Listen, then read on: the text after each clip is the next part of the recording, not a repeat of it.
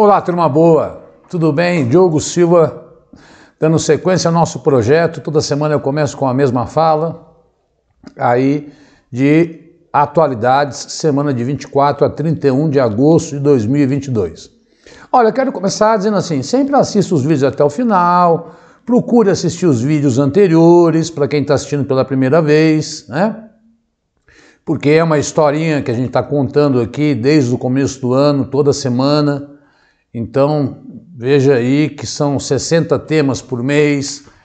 É, é para você realmente gabaritar a prova, bem junto com os livrinhos que está tudo descrito aí, é, a descrição, é, os links, né? Para quem quiser no Hotmart, mas para quem quiser falar comigo. Eu estou impressionado. Eu vou citar algumas cidades: Lavas, Ouro Preto, Petrópolis, é, Bertioga, é, TRT do Maranhão, TRT é, da Paraíba, oficial de promotoria, que mais? PM, é, Polícia Civil de Goiás, Polícia Civil de outros estados. A quantidade de concurso que está exigindo atualidades é muito grande. E não se assuste se a cidade vizinha, a sua, em breve abrir um concurso e que você pode fazer um bate-volta e que você precise de atualidades. Então, meu povo, não deixa para estudar em cima da hora, não acha que só estudando temas, vendo noticiário você vai conseguir. A gente tem aqui já um treino de 20 anos. É, é um alerta, tá? Porque hoje acho que o Anderson comprou dois livrinhos e falou: professor, eu sou concursado, quero ir para outro concurso, né, quero melhorar. E o que fez a diferença foi aí atualidades em relação aos outros. É muito amplo e aqui a gente consegue transformar para você em temas mais fechados que realmente as provas gostam de perguntar e bem como os livrinhos aí que é, a gente tem um trabalhão, estou quase terminando o 7. Até depois do dia 15 de setembro, o 7 já está na praça aí. Mas não adianta o 7. O 7 vai falar de julho a setembro. E os editais vão pedir desde o começo do ano. E é assim que a gente tem que pensar. Alguns nem estão colocando datas. Mas vamos lá, sem delongas. Tem muita coisa para falar. Muito bem, a gente sempre começa com os endereços pessoais meus, né? Eu peço para você me seguir no, no Instagram. Qualquer dúvida pode mandar um WhatsApp até para se quiser saber como é, adquirir o, o livrinho e tal. É, no meu canal do YouTube tem lá 60 questões resolvidas desse ano, é, para dar uma degustação das 700 que eu já escrevi, né? Então, você tem um pouco para você conhecer, 10%, né? E então a gente pede aí esse carinho seu, porque isso é muito importante para a gente se divulgar e mostrar coisas que. E, enfim, eu sempre digo, meu sonho é ficar aqui em casa trabalhando todo dia só para vocês. Semana de 24 a 31 de agosto, estou gravando hoje Quarta-feira, 31 de agosto, deve ir ao ar amanhã ou depois, porque tem todo esse trâmite de, de eu enviar e subir no YouTube. Às vezes depende da boa vontade do YouTube também. Bom, há pouco tempo eu gravei, mas isso é que eu falo, né? Que o Brasil tinha diminuído. Esse eu peguei do, do blog Plodeiro 360, que eu também recomendo que vocês visitem bastante, né? É, Primeira notícia: Brasil amplia exportações para árabes israelenses, né? É óbvio que essas exportações são muito, tem muito a ver com carne, carne e soja, né? Que o, o Brasil não exporta produto industrializado para nenhum país israelense. Ele é o grande exportador, por exemplo, o Irã, de carne. Mas havia um certo receio, porque o Bolsonaro, no início, quando o Trump ainda era presidente, também quis encabeçar aquela ideia de transferir a embaixada de Tel Aviv para Jerusalém. Isso poderia ah, criar um mal-estar com os árabes. No entanto, você vê, observa que o Brasil está navegando num momento bem saudável eh, no que diz respeito a exportações. O problema é que nós exportamos commodities, produto de pouco valor agregado, né? e compramos tudo, remédio, cama de hospital, máscara, TV, aparelhos, tal.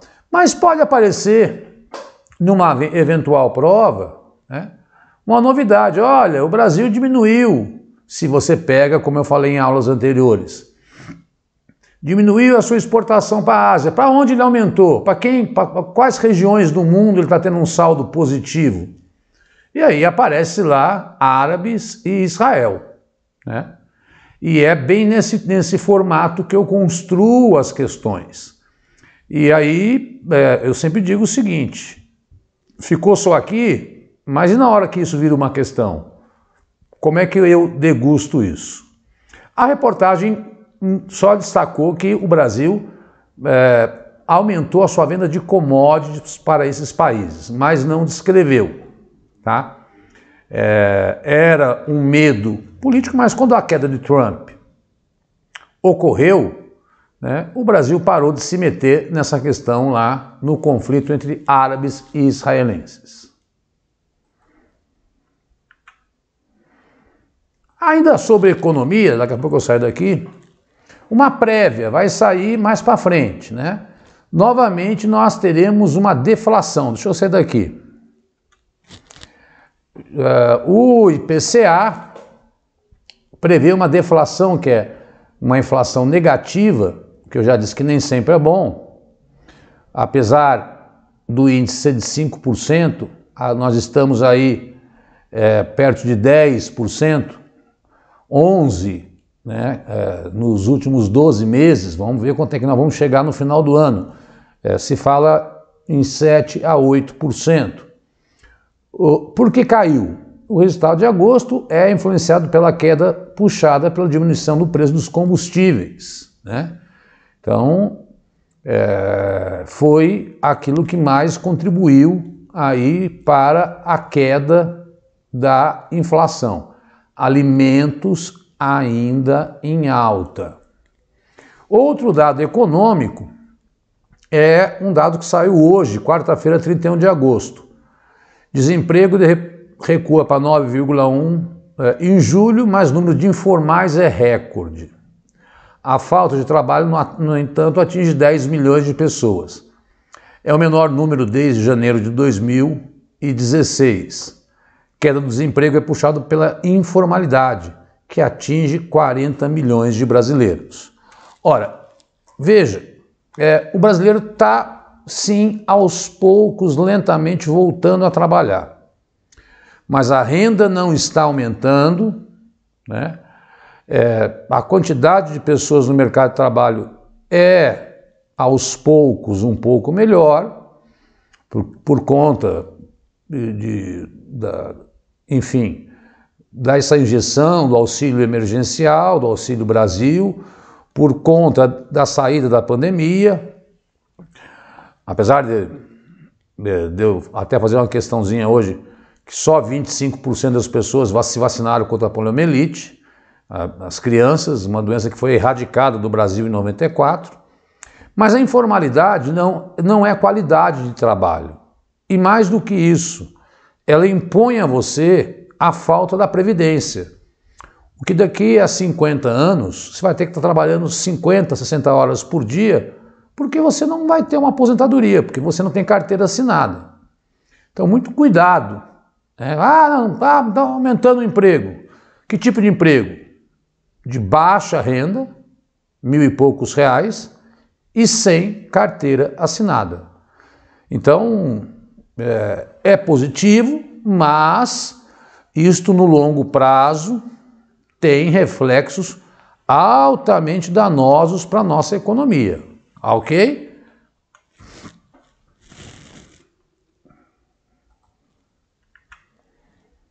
Bom, Agora vamos falar um pouquinho aí de meio ambiente com dados que saíram recentemente. Brasil perdeu 13% da vegetação nativa em 36 anos. Mapa Biomas, que é uma instituição super é, respeitada, provocou a perda de 33% da vegetação. O Brasil perdeu 13% da sua vegetação nativa entre 85 e 2001 correspondendo a um terço da vegetação perdida desde 1500. Ou seja, em 36 anos, veja como nós perdemos né, é, um terço de 440 anos. Isso saiu na sexta-feira, 26 de agosto. Olha que curioso, você vê como as aulas são importantes. Está na aula passada, isso que eu vou falar. Onde é que está? Está no segundo parágrafo. Uh, a instituição destaque para o crescimento de 28, 228 por áreas de agricultura, que representam 7,4% do território nacional. Óbvio, né, que nós temos muita área de preservação. Então as pessoas não pensem que o Brasil tá? No 10, não chega a 10% é, do nosso território agricultura. Houve um crescimento, os dados mostram que a transformação da vegetação em áreas de pastagem e lavoura foi mais intensa em algumas regiões, com destaque para Maranhão, Tocantins, Piauí e Bahia, onde é o cerrado o predominante. É, mais da metade do cerrado foi-se embora no Mato Piba, e aí, quem está atento, está assistindo às aulas, está olhando com cuidado para atualidades, quando junta uma aula com a outra, uma informação com a outra, eu até botei um mapa, acho que foi na última, penúltima aula, onde é essa região de expansão agrícola chamado Mato Piba hoje. E é exatamente lá que está se desmatando com maior intensidade. Os dados revelam que esse desmatamento é, é, tem, tem a ver com garimpo legal, tem a ver com venda de madeiras, mas na sua grande, imensa maioria é para agricultura e lavoura, como o próprio texto diz. O que é alarmante é que em 36 anos nós perdemos um terço daquilo que nós perdemos desde 1500.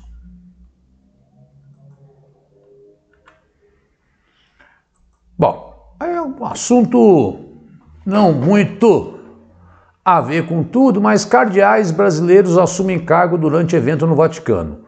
Dom Leonardo Steiner, arcebispo da Amazônia, e Dom Paulo César Costa, da Arquidiocese de Brasília, participam do evento que, e receberam o título de cardeais. 20 novos cardeais foram convocados pelo Papa, inclusive alguns da Ásia. Né? É, também, recentemente, houve o pedido para a beatificação do padrinho Padre né, Padre Cícero. Bom, a grande questão, né, tá lá, o pontífice de 85 anos convocou todos os cardeais do mundo para reunião inédita de dois dias, que acontecerá a partir das 16 horas no sábado na Basílica do Vaticano. O que tem se dito a boca miúda, que o Papa não anda muito bem de saúde e que pode renunciar. Esses novos cardeais que ele convocou são da sua intensa, enfim, confiança, que, que podem dar sequência ao seu projeto, né? É, é porque para votar para cardeal, pra, só os cardeais que votam, né, para escolher o novo Papa, tem que ter menos de 80 anos. E esses tem um que tem acho que 50 e poucos anos, um desses cardeais, o outro tem 71. É, ou seja, votariam com certeza no próximo Papa, que pode, já que há um buchicho muito grande da renúncia do Papa Francisco. Tá? Mais dois novos cardeais brasileiros, o que aumenta a representatividade brasileira no Vaticano. Olha, cultura tem que aparecer nas nossas aulas. E não dá para dizer, deixar. Eu, francamente, nunca, não sou fã, eu escutei esse envolver porque, mas não é o meu grande estilo. Mas Anitta vence é, VMA, melhor videoclipe da música latina. O que qual, qual é o, né? Ela já tinha é, estourado no Spotify, acho que foi em maio, né? E ela é a primeira artista brasileira a conquistar o prêmio, que acho que é, é da, da MTV americana, que é um prêmio super, super, super, né, badalado, né? Bom, essa ela está fazendo um sucesso espetacular fora do Brasil. E aí, ah, Diogo, já, já caiu num concurso aí que eu vi, não sei em qual cidade, perguntando sobre a Anitta, por, por conta de ser uma brasileira que está levando a nossa cultura para fora. Mas aí viemos com uma notícia que está deixando muita gente do campo da cultura bravo. Bolsonaro adiou essa semana repasse da Lei Paulo Gustavo para 2023 e a Aldir Blanco para 2024. É, ainda defesa, a defesa é que não tem dinheiro. É, o que, que aconteceu? Vamos lembrar. Vamos lembrar. O Congresso aprovou essas duas leis de incentivo, uma de 3 outra de 4 bilhões de reais. Dura saber que o fundo eleitoral é de 5 bilhões, né? E cultura gera renda, dinheiro e emprego. E eleição gera. Com... Outra... Bah, cala a boca, Diogo. É...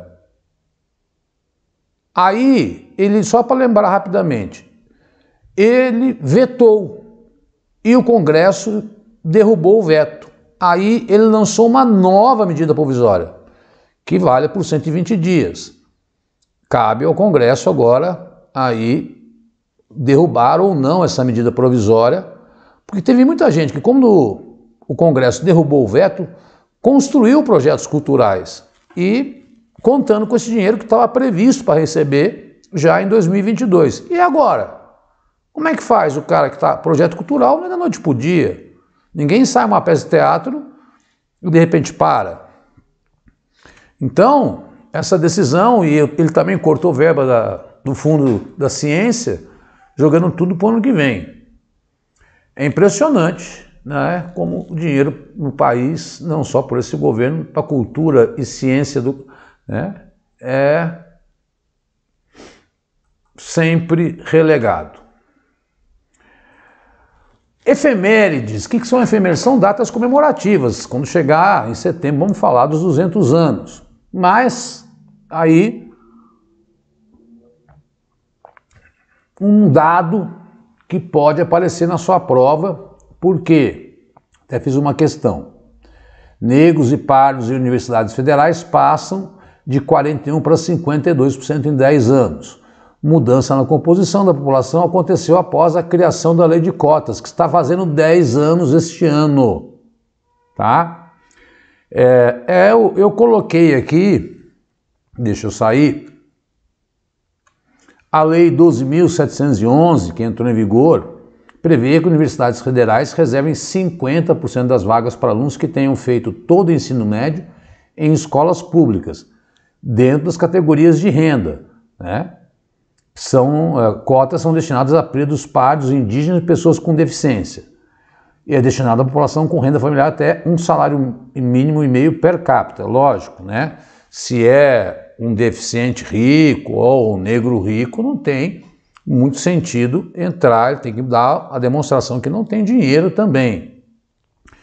Mas esta é uma decisão para a história do Brasil né, muito, muito importante, na medida que você a, tenta quebrar aquilo que nós chamamos de racismo estrutural, que é a falta é, de negros e, e, pardos com ensino superior. Ainda está longe de assumir aí o que realmente merece pelo nosso padrão histórico. Há uma previsão de que essa lei de cotas seja rediscutida quando ela foi criada depois de 10 anos, ainda esse ano. Todos analistas concordam, há um mês das eleições praticamente, que o Congresso não deve aí discutir isso uh, antes das eleições, possível que discuta, mas eu acho que veio para ficar e não sai mais.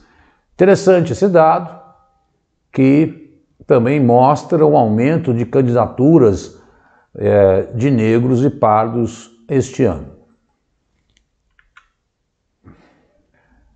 Finalmente, na segunda-feira, o Alexandre de Moraes retirou o sigilo da decisão que autorizou busca e apreensão contra um grupo de bolsonaristas que debatia ruptura democrática.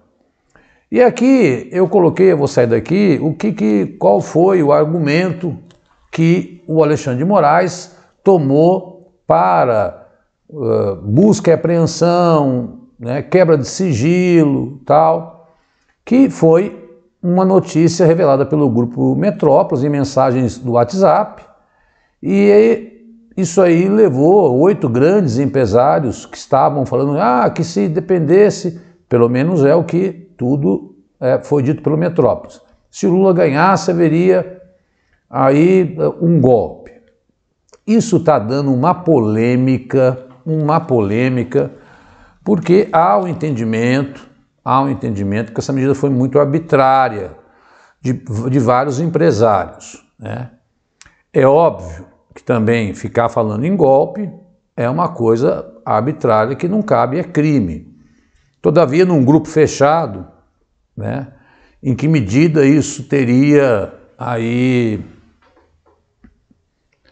é, impacto legal? Há, há uma, toda uma discussão. Ele quebrou o sigilo do, dizendo por que, que ele fez isso.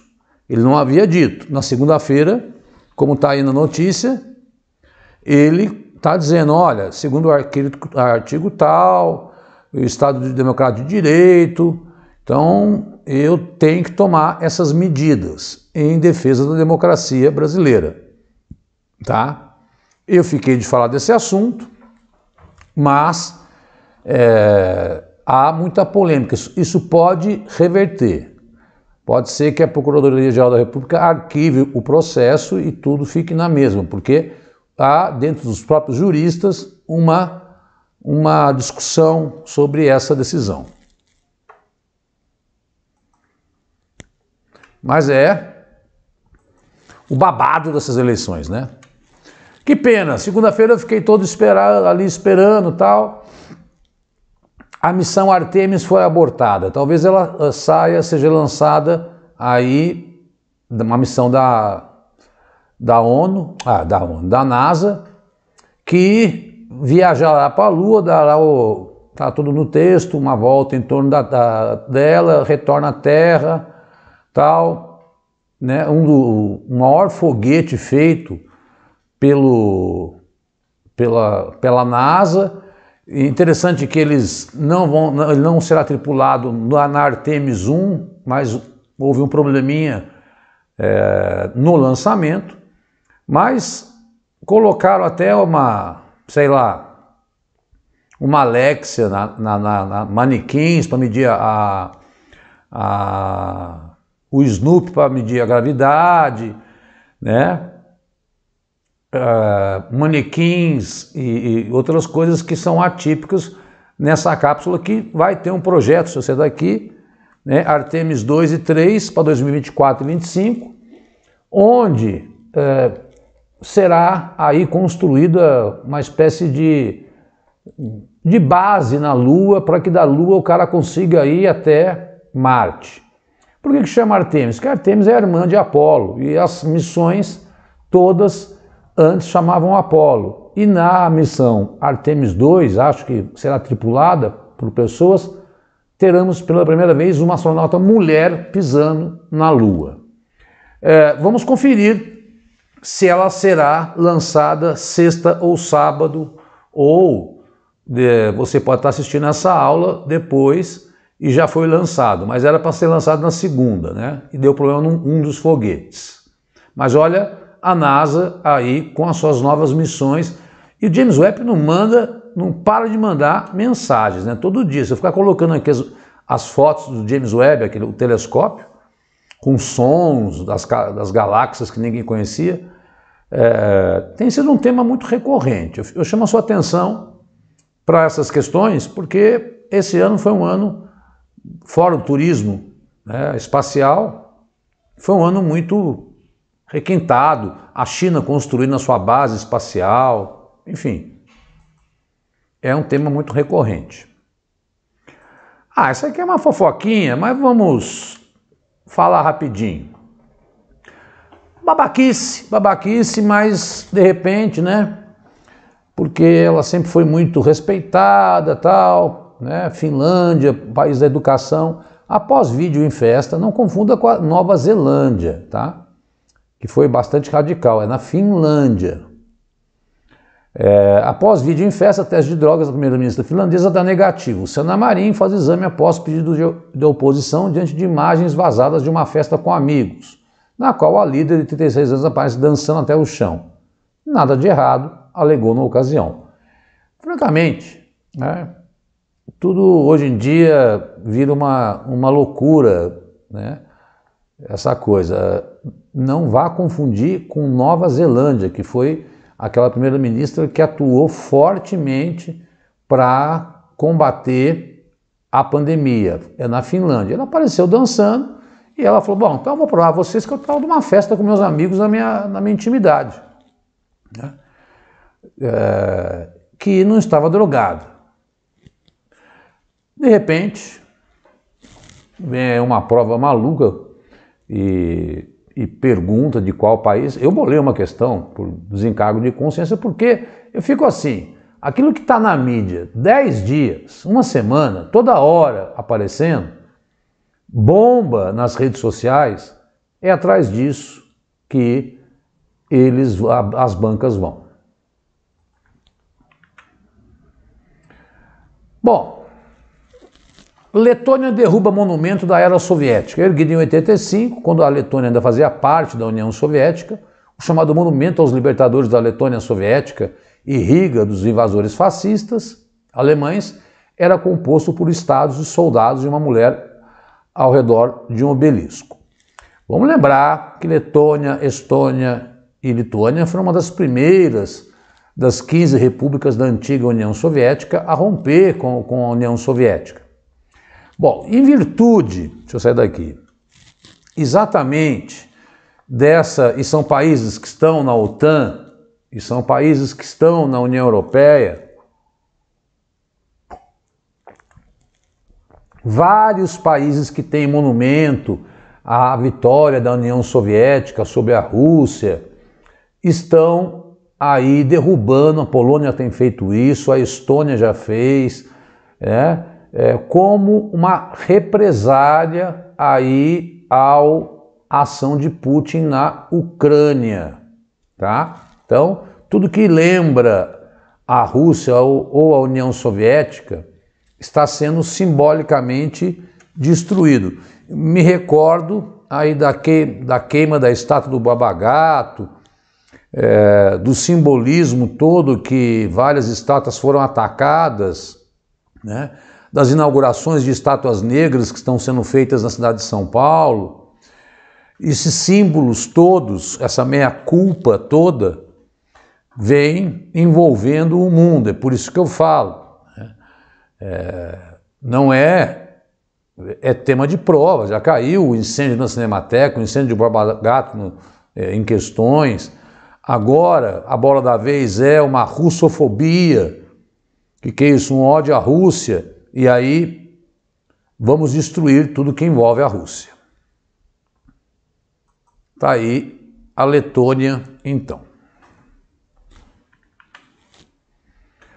Ah, bem legal essa. Também não vou gastar muito tempo. A Alemanha estreia primeiros trens movidos a hidrogênio do mundo. Iniciativa de mais de 93 milhões de euros cobre trecho de 100 quilômetros no país. Aí depois você dá uma lida tal nessa reportagem. Mas eu quero que você lembre que eu falei: olha, o Brasil é, especialmente o Ceará, ele é campeão nisso aí. Lá no final, funcionando com apenas um tanque de hidrogênio diário, os veículos contribuem na redação de carga sobre o meio ambiente, levando em conta que um quilo de hidrogênio substitui aproximadamente 4, litros de óleo diesel. E o hidrogênio não é. E a, e a última frase, que é a mais importante. É importante ressaltar que apenas o hidrogênio verde é de fato livre do carbono. São separadas por um processo chamado eletrólise e não produzem aí nenhum tipo de poluição. Alemanha e Noruega sempre avançadas no meio ambiente. Mas recordo que foi um tema bem forte aí que nós é, tratamos. Paquistão, putz, o, o, o Guterres, já atualizei lá embaixo, mais de 1.100 mortos com as chuvas que coloca o país, o Paquistão, que é vizinho da Índia, né, um país super povoado, mas um terço do país está embaixo d'água. Seria o equivalente a dizer que todo o sul e sudeste brasileiro estivesse inundado. Mais de 300 mil pessoas né, é, estão desabrigadas. As cenas é, é, são assustadoras. E não tem. E o que, que diz o Guterres, o secretário-geral da ONU? É, hoje é o Paquistão, amanhã pode ser seu país, vamos ajudá-los. Os mortos, lamentavelmente, é a se lamentar. Porém, né, 495 mil casas danificadas ou destruídas. É, é normal, tem as chamadas chuvas de monções, que são presentes sempre nessa época. Mas do jeito que choveu, julho foi o mais chuvoso em três décadas, com 133 mais chuva que a média dos últimos 30 anos. Meu Deus, que tragédia que nós estamos repetindo. Estou falando muito de meio ambiente, falei do hidrogênio da, da Alemanha, o Brasil desmatando e aí as consequências. Bom, mas por outro lado tem notícia boa. Olha a Califórnia. Califórnia anuncia que todos os veículos novos deverão ter emissão zero em 2035. Estado lidera os esforços para a transição energética no país. Vai ser movido a hidrogênio, vai ser movido a energia elétrica. Né? É, o interessante é que, a, que o Estado, uh, são 40 milhões de habitantes na, na, na, na Califórnia, e é o Estado que mais é, tem, compra, produz carros e consome carros aí, e fez essa promessa vamos zerar as emissões até 2025. Portanto, em, em 12, 13 anos, não terá mais carro no estado poluindo. É uma transição audaciosa, mas que é ah lá, partir para veículos elétricos. Estamos passando dos 30, Eleições na, na Angola já ficou consagrada. O movimento popular que governa lá há 50 anos venceu as eleições. João Lourenço vence. A UNITA, que sempre disputaram, estão no poder desde de, de 75, quando ficaram independentes. Eu só diria que, mais uma vez, a UNITA, como a eleição foi muito apertada, está se mobilizando para rever esse processo eleitoral. Está negando o resultado das eleições. Isso tá, parece que está ficando uma prática mundial. Né? Hoje ainda li também que a guerra civil na Etiópia continua muito forte, com forte ataque à região separatista de Tigré. A gente sempre traz aí uma uma informação sobre a África, porque né, Angola era uma colônia portuguesa, tem muita ligação com o Brasil e é o segundo maior produtor de petróleo da África, perde só para a Nigéria. Porém, sua população é extremamente miserável. E esse partido que venceu as eleições, aí de Antônio João Lourenço, está no poder há 50 anos. Então não adianta ter petróleo, porque assim como o Irã, Iraque. Ah, está tendo um problema no Iraque, mas vamos aguardar um pouco mais. Bom, morreu Mikhail Gorbachev, último líder da União Soviética, ex-comandante ex da União Soviética, é conhecido por ter permitido que o regime comunista terminasse sem violência em seu país. Ganhou o Nobel da Paz em 1990. Falando um pouco uh, do Gorbachev, o último grande líder aí dos anos, do século passado, ele sobe ao poder em 85 como secretário-geral do Partido Comunista. E lá, na antiga União Soviética, que tinha a Ucrânia, a Letônia, a Estônia, Belarus, tudo como é, países que faziam a União Soviética, ele entra e olha para a União Soviética desabastecida, não conseguindo mais concorrer na corrida armamentista, e ele começa a produzir reformas de abertura do sistema, conhecidas por duas frases: glasnost e perestroika, que está aqui uh, no slide. Né? Abertura política e reestruturação da economia. Uh, era isso que uh, ele propunha. Essas palavras ficaram palavras chaves aí do movimento dele. Na verdade, ele falou: olha, nós queremos parar e fez vários acordos com o presidente Reagan na época de desarmamento.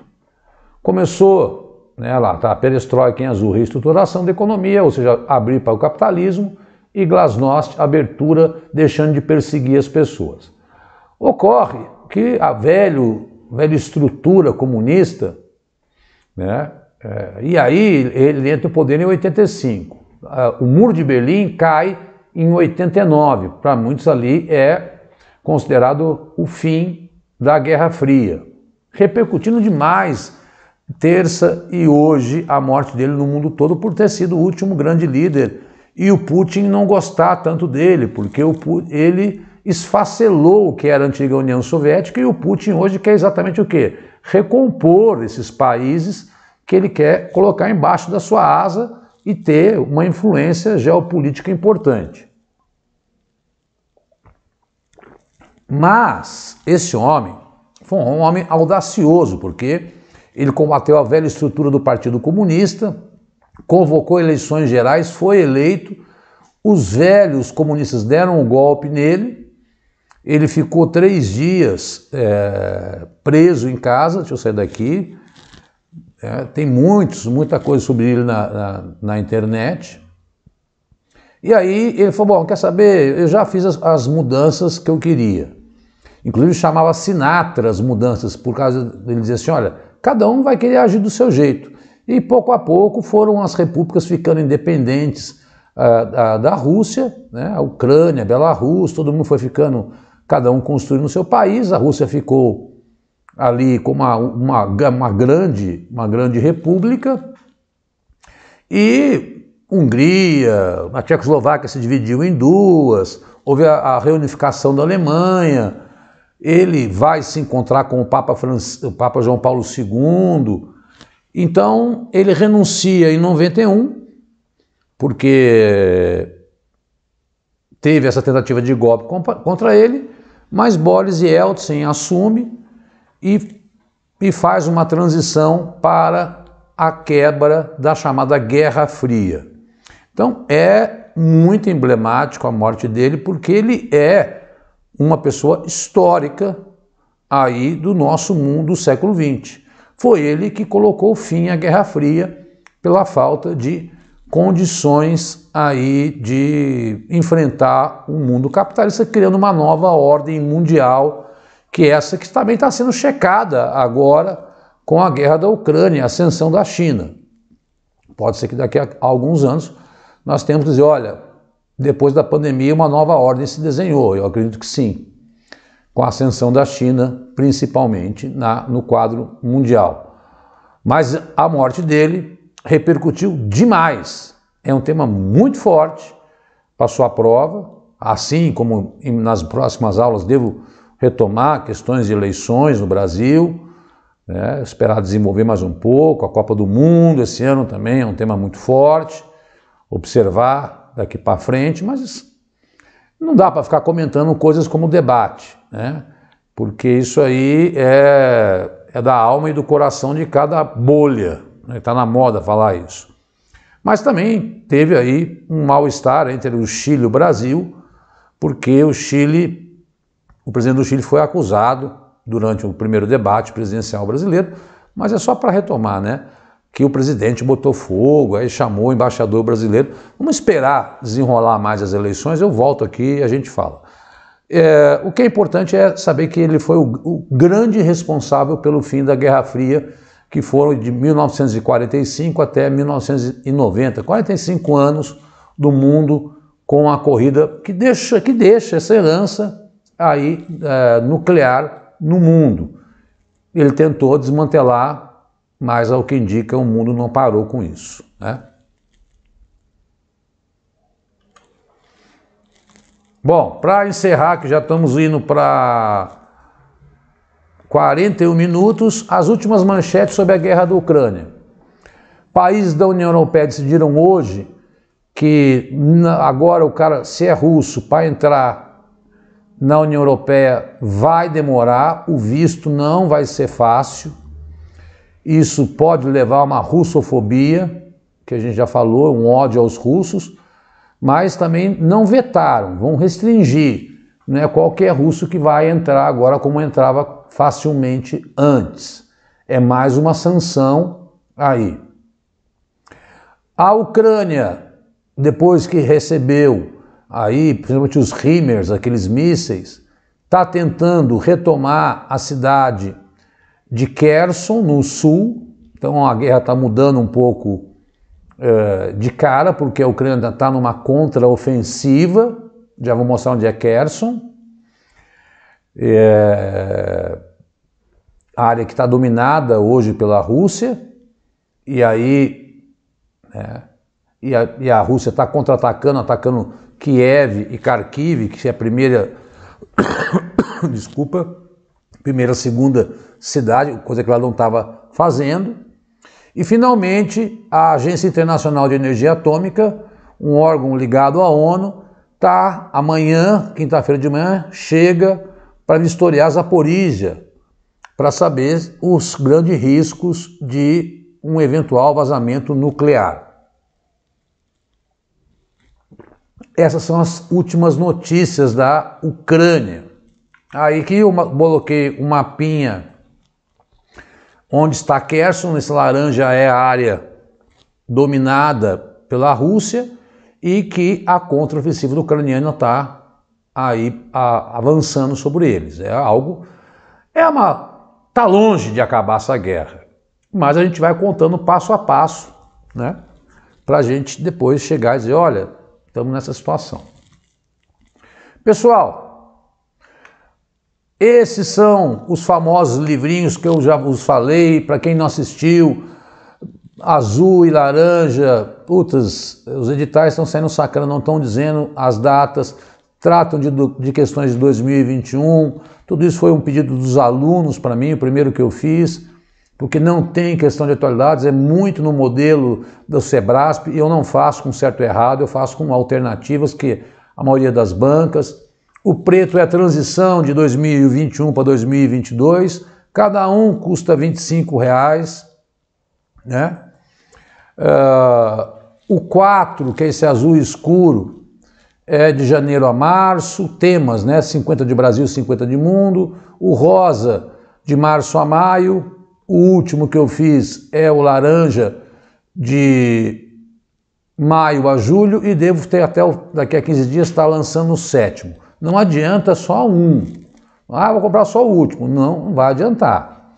É, não estou querendo, não é jabá e forçar a barra para comprar. Compra um de cada vez, compra um por mês, vai aos poucos, porque você, é 25 reais. Porra, é um, sabe quanto é que vai custar um pacote de pipoca no Rock in Rio? 55 reais. E aqui tem 100 páginas, que dá o trabalho de três meses. É, eu fico indignado com isso, com as pessoas. Né?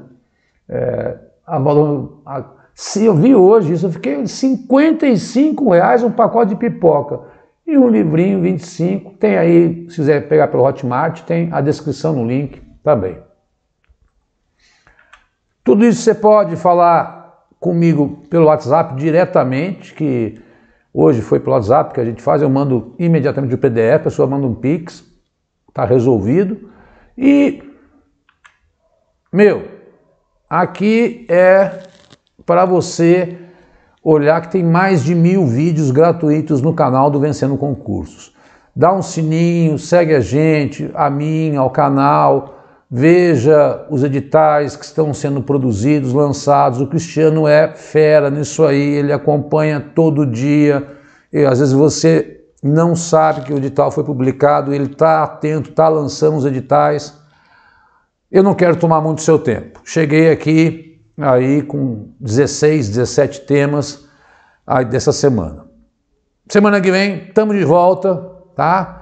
É, mas enfim, bons estudos, cheio de concurso aberto, vamos procurar uma saída à informalidade, como foi um dos temas que nós falamos na aula de hoje.